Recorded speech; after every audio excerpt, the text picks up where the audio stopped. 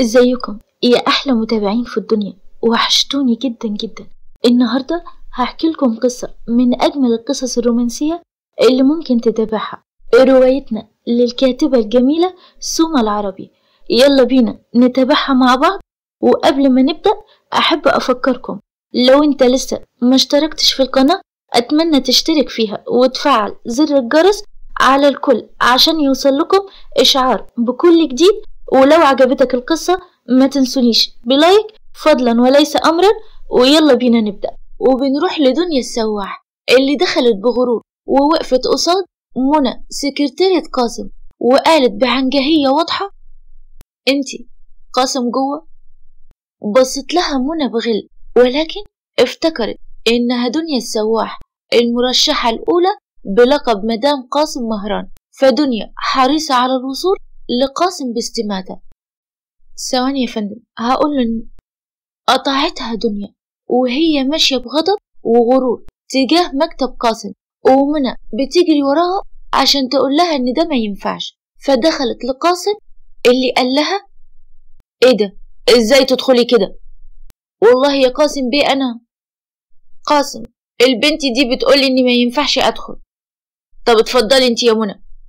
خرجت منى فبصت له دنيا وقربت منه وقالت إيه يا قاسم كلمتك كتير امبارح موبايلك مقفول ليه؟ كنت مشغول يا دنيا. آه صحيح يا قاسم هي البنت اللي كنت ماسكها وأنت متعصب دي امبارح سرقت حاجة ولا إيه؟ غضب قاسم ورد اسمها جودي وتتكلمي عنها كويس وإيه سرقت حاجة دي؟ إيه بس يا قاسم أنا قطعها قاسم وهو بيحاول يهدي من نفسه. دنيا اتفضلي دلوقتي مش عايزة اتعصب عليكي.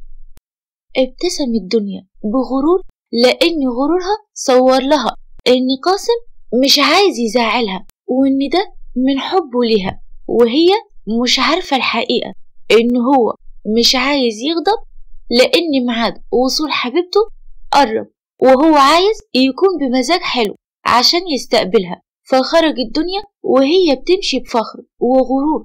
فلطالما كانت هي الأقرب للوصول من الزواج من قاسم مهران لأنه يعتبر رجل أحلامها بشموخه وثروته وسلطاته بالإضافة إلى إنه وسيم جدا.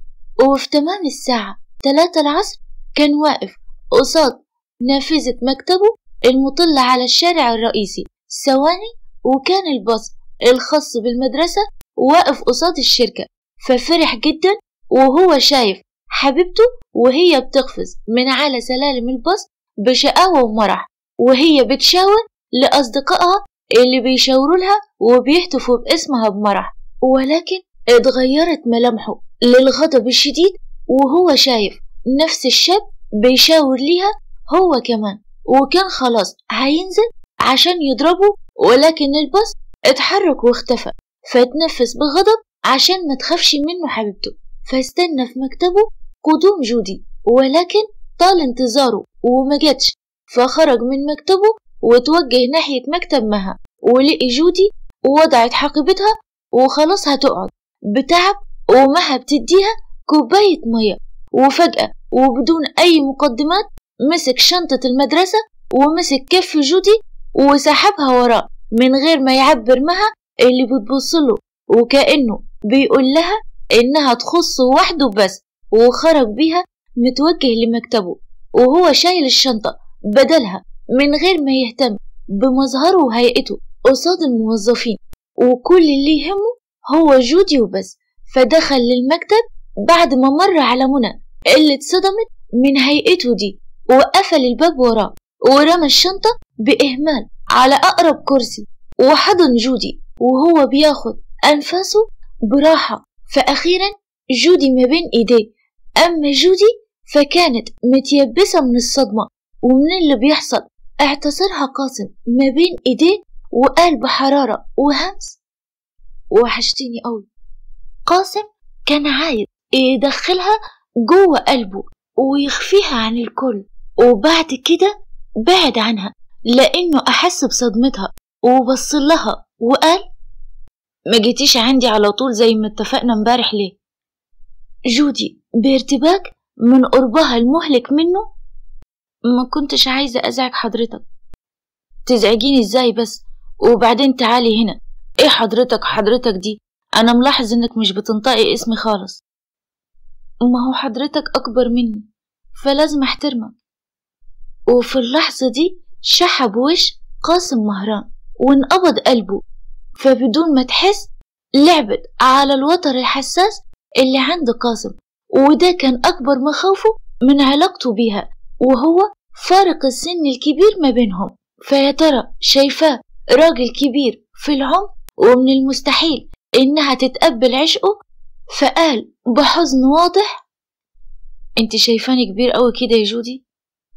لا خالص ده حضرتك حتى أمور قوي أخد قاسم أخيرا أنفاسه وابتسم من جديد وقال بغضب مصطنع حضرتك تاني برضو؟ أمال أقول لحضرتك إيه؟ تقولي اسمي عايز أسمعه منك. لا مستحيل. يلا اسمي إيه؟ جودي بخجل؟ قاسم. ما تملكش قاسم نفسه في اللحظة دي فلأول مرة بيسمع اسمه منها بالعزوبة والحلاوة دي فانقض عليها وبسها بقوة وشغف وهي مش مصدقة اللي بيحصل وبعد عنها بالعافية عشان تاخد أنفاسها. ما كانش عايز يوقف ده بصيت له بصدمة لأنه انتهك عذرية شفايفها فصرخت فيه بغضب وهي شايفاه هيقرب منها تاني. ابعد عني انت فاكرني إيه؟ اهدي اهدي بس يا جودي. وفي اللحظة دي افتكرت جودي كلام مها فصرخت مرة تانية ابعد عني انت فاكرني إيه؟ أنا مش من البنات اللي انت تعرفها يومين وترميهم. بنات إيه؟ مين اللي قالك الكلام ده؟ أنا مها ياما حذرتني منك كان عندها حق بس انت لازم تعرف ان أنا بنت محترمة ومش هسمح لك تعمل فيا كده. كانت بتتكلم بصراخ ودموع ومسكت شنطتها وخرجت بسرعة واستخدمت المصعد ونزلت. أما قاسم فخرج وراها بسرعة عشان يلحقها. كل ده تحت نظرات منى اللي كانت بتبص بذهول واستغراب. فراح للمصعد ولقاه مشغول فاستخدم السلالم ونزل 30 طابق على رجليه وخرج بسرعة لكنه ملقاش جودي. فسأل عليها واحد من أفراد الأمن. اللي قال له إنها وقفت تاكسي ومشيت في اتجاه معين. فجري قاسم وركب واحدة من عربياته وانطلق بيها في نفس الاتجاه لكن ملقاش ليها أي أثر على طول الطريق. فاتصل بيها على الرقم اللي سبق وأخده منها في اليوم السابق لما كانوا مع بعض ولكن ما ردتش على اتصالاته. فشغل عربيته ورجع بيها للشركة وهو عارف على مين هيصب غضبه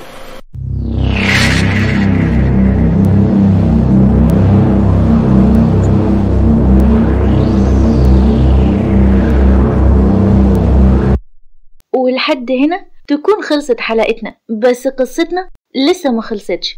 يا ترى جودي هتغفر الخطأ ده لقاسم ولا لأ؟ وإيه هيكون عقاب قاسم لمها اللي بوظت صورته قصاد حبيبة قلبه جودي؟ وكمان هنعرف إيه اللي عايزه عادل من مها وإيه هيكون موقف دنيا السواح من كل اللي بيحصل ده. تابعوا معايا يا أحلى متابعين. ورجاء مني يا جماعة أنا بتعب جدا عشان أجهز الحلقات ليكم وما تأخرش عليكم. بلاش تنسوا اللايك والاشتراك وتساعدوني عشان أتشجع وما تأخرش عليكم. مع السلامة.